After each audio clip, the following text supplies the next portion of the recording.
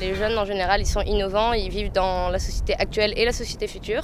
Du coup, ils ont beaucoup d'idées à apporter. Alors les jeunes, déjà, c'est la vitalité. Première des choses, c'est un peu plus d'ambiance, un peu plus de gaieté. Ils vont plus rapidement euh, vers le but à atteindre. Enfin, c'est pas qu'ils réfléchissent moins, mais ils sont plus euh, dans l'action.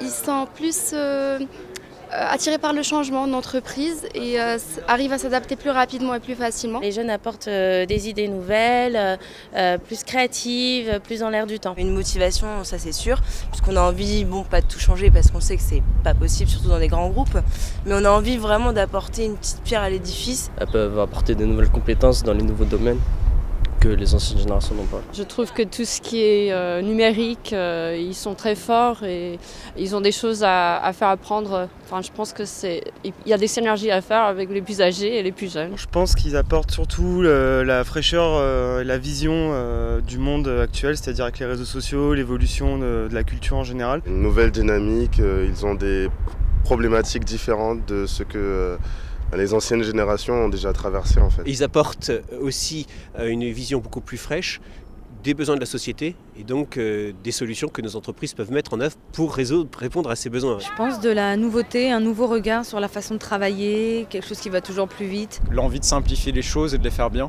Les jeunes, c'est les innovateurs de demain. C'est aussi à l'entreprise de s'adapter aux jeunes, je crois, parce qu'il y a quand même pas mal de réticences et, et voilà.